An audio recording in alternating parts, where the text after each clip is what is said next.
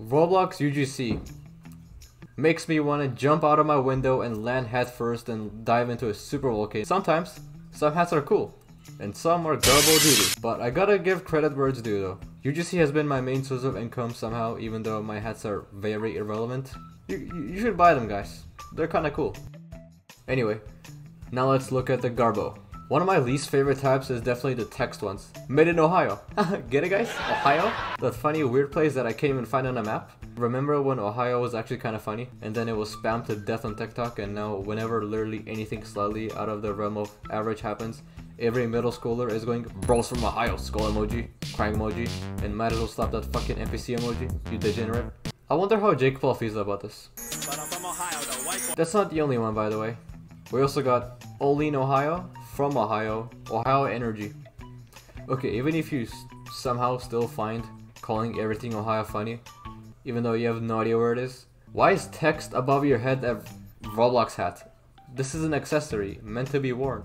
Why the fuck are you carrying letters above your head? I will tell you right now, if you buy any of these, you will wear it for one day, maybe two, and then never again. This is going on nobody's main outfit, because I've never seen anyone wearing any of these ever. And not just the Ohio ones, we also got the what was he cooking, and what was she cooking? Does he know? You know, I actually used to unironically watch Neo Rockstars, and now that his thumbnails became memes and they're used as reaction images, this is kinda painful and also hilarious to watch. Same thing with the clickbait era thing. Again, I kinda get why some people might find it funny, but this is your Roblox outfit. You will never be wearing this for more than one day. Probably. Now let's look at something different. You go to the avatar shop and you look up red bandana. And you find this, a nice little accessory called red bandana. And how much do you think it costs? 50 Robux, a reasonable price. And then you look a little further and you find another red bandana. And this one costs 75 million Robux the fuck? Okay, well, while if some kid who has a red themed outfit and wants to include a red bandana, I don't think that his only choice would have to cost him 75 million Robux, which is like $250,000, which would probably be three times his entire family's annual salary. This hat now pretty much makes the, for some reason, 75 million Robux red bandana obsolete. Good. So all of the owners of it, have fun. The next absolute horse poop hats that are on the UGC catalog are the meme trend ones. Well, they're still better than the text ones because at least these actually try. Extremely sus hole in the floor. Okay, this is obviously from Among Us, but if you really think about it, what on earth is this? Who the fuck is going to wear this? Chad meme head. Bro, this looks disturbing.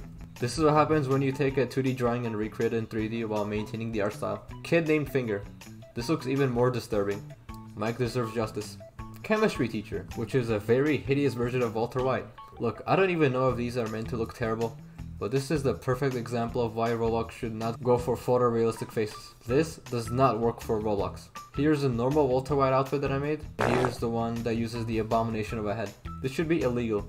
Flabbergasted, which is supposed to be from that stupid ass reaction image. I don't even know what the context behind this image is. But you know what? I don't even want to know. And there's a whole lot more. And as you can tell, they're all made by completely different people. It's not just one Neanderthal making these goofy ass hats, it's a whole army of these NPC UGC creators. And despite how long it's been, the people in the comment section have not evolved at all. It's always been like this. All these little goofballs are still at it. If you are reading this, then you will die in your sleep tonight. If you copy this in another comment section, you will have good luck forever. Fatherless child under me. You know what? Even if this comment is right, I will refuse to post this on another comment section. Take me out of this world, please. And what is this? Mr. Bit. This is a real image in the form of a Roblox hat. This looks like something you'd see in 45 Fazbear Gametron Place 45. Like, what the fuck is this? W Gold Wrist Chain. Wear this if you want to be the average Gen Z NPC. Speaking of Gen Z, what in the world did you guys do to our everything? Why the fuck is skull emoji being used for laughter? Who came up with this? Okay, I get it. I'm dying. Haha. AKA I'm dead. AKA I'm a skeleton. But not dead to the point where I've been buried for so long that all my skin has disintegrated and all that remains is my skeleton. The same way that we make fun of the older generation for using the joy emoji, our dumbasses will make fun of us for using the skull emoji. And who knows what they will be using? The fucking coffin emoji?